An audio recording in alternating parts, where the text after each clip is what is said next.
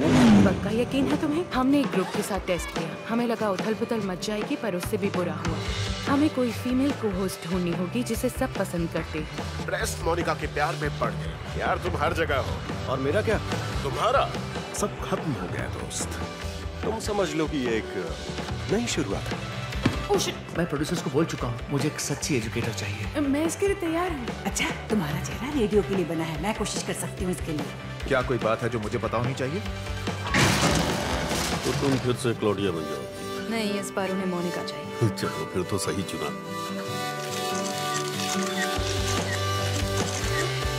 Baby तुम्हें चिंता करने की ज़रूरत नहीं है। हाँ रफाल बस फ़ेमस कॉन्फिडेंट और हैंडसम ही तो है। हाँ हाँ और क्या। नहीं तुम ही बताओ। बस कभी तुम जैसा नहीं होगा। कहीं छोड़ दूँ? नहीं थैंक्स मैं चली जाऊँगी। सच में चली जाओगी? जैसा कि आप देख सकते हैं सब कंट्रोल में है। दिख रहा है। काफ़ी दिल लगाकर काम हो रहा है। मैं स्टूडियो में थी। प्रैक्टिस देर तक चली। हाँ मैंने देखा अभी कितनी मेहनत से काम चल रहा है। वाह! ये तो बेहतरीन है। वैसे भी रोमांस से तेज और क्या दिखता है? क्या बोले जा रहे हैं? कुछ समझ नहीं आ रहा। शो बिज़नेस में तुम हो मैं नहीं हूँ। ज़िंदगी में नई शुरुआत करने की कोई उम्र नहीं होती। मोनिका